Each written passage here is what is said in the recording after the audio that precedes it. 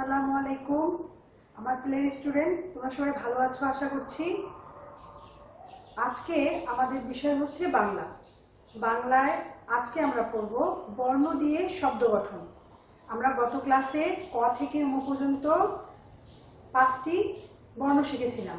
আজকে ওই পাঁচটি বর্ণ দিয়ে কীভাবে শব্দ গঠিত হয় তা আমরা শিখব। তাহলে চলো আমরা শিখে ফেলি।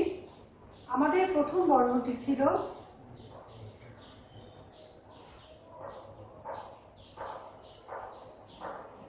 ক আমরা প্রথম বর্ণটি শিখেছিলাম? ক। এই ক দিয়ে কি কি হতে পারে? চলো দেখি। কতে হয়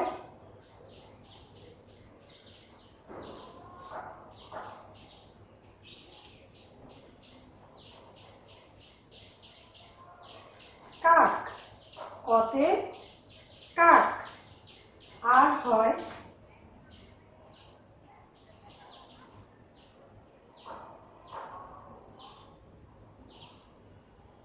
কলা। কতে কাক, কতে কলা। ক, কতে কাক, কতে কলা। কয়াকারে কাক, ক কাক, ক লয়াকারে লা, কলা। কতে কাক, কতে কলা। এরপরে, এরপরের বর্ণটি কি বলতো সবাই? আমরা সবাই শিখেছি, আমরা জানি। বলতো বর্ণটি কি? বর্ণটি হচ্ছে খ। পরের বর্ণটি হচ্ছে খ। খতে কি হয় বলতো? আমরা কি জানি খতে কি হয়? মনে হয় আমরা জানি। খতে হয় একটি খাবার জিনিস, এর নামটি হচ্ছে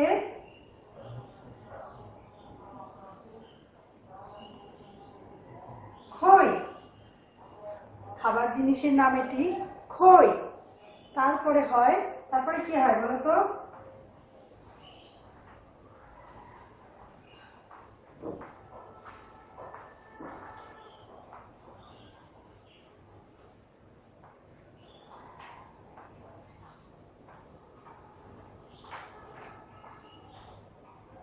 খরগোশ। খরগোশ। আমরা সবাই যখন চিড়িয়াখানায় যাই, তখন কিন্তু খরগোশকে দেখতে পাই। ছোট ছোট, সাদা সাদা, অনেক সুন্দর সুন্দর খরগোশ। যারা যারা আমরা চিড়িয়াখানায় গিয়েছি, তারা প্রত্যেকেই এই খরগোশটাকে দেখেছি। কি দেখেছি তো? তাহলে খ দিয়ে কি হয়? খই, খরগোশ। খই, খরগোশ। খতে কি হয়? খই, খতে হয় খরগোশ। তারপরে কি বলতো? শিখি আমরা। তারপরে অক্ষরটি কি? তারপরে অক্ষরটি হচ্ছে গ। তারপরে অক্ষরটি হচ্ছে গ।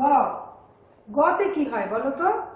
গতে হয়, আমরা সবাই পছন্দ করি এটা দিয়ে খেলতে, অথবা এটাতে চড়ে বেড়াতে যেতে আমরা সবাই পছন্দ করি। গাড়ি, খেলতেও পছন্দ করি, বেড়া, এটাতে চড়ে বেড়াতে যেতেও পছন্দ করি। এর না গতে গাড়ি গতে গাড়ি। আর কি হয় বলতো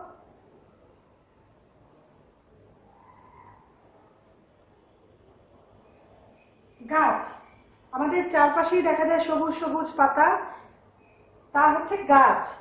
তাহলে গতে কি হচ্ছে? গাড়ি গতে গাছ। গতে গাড়ি গতে গাছ। এরপরে আমরা পরের অক্ষরে চলে যাই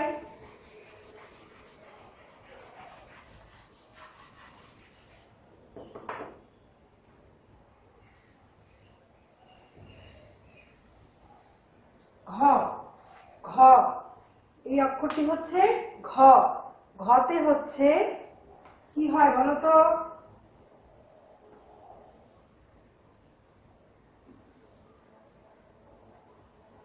ঘুড়ি। আমরা আকাশে অনেক সুন্দর সুন্দর ছোট ছোট কাগজ দেখতে পাই উঠতে থাকে। তার নামই হচ্ছে ঘুড়ি। সেগুলো হচ্ছে ঘুড়ি। আর একটা জিনিস আমরা শিখি বলতো ঘ দিয়ে কি হয়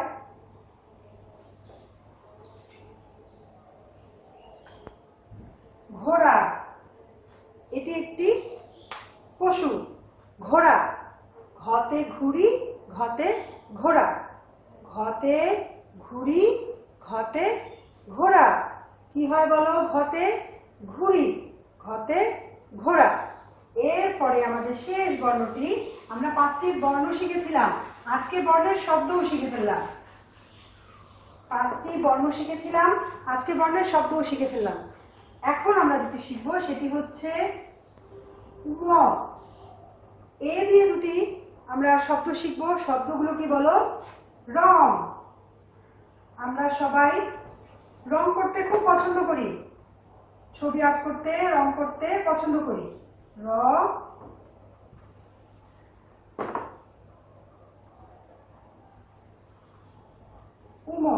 রং। আরেকটি হচ্ছে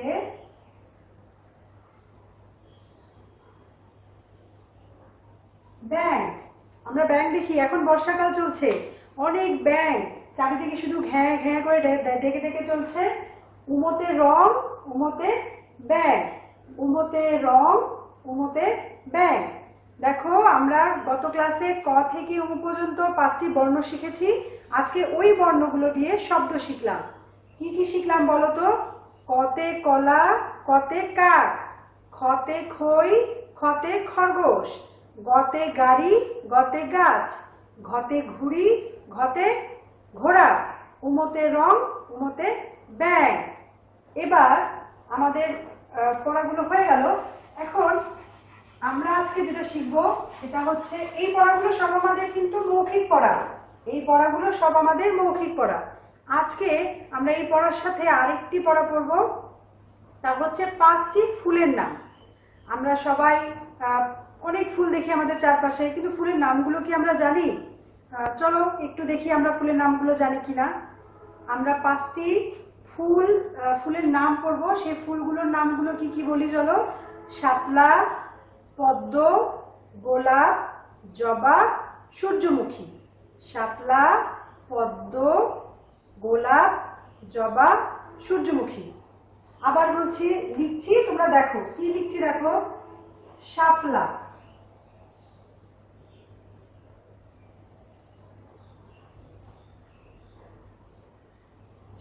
দেখো শাপলা। শাপলা। প্রথম ফুলটি আমরা কি বলব? শাপলা। তারপরের ফুলটি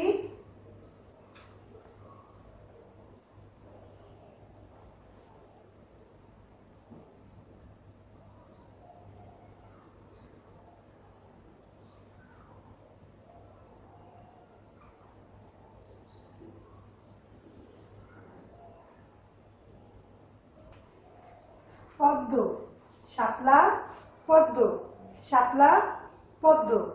তারপরে গোলাপ।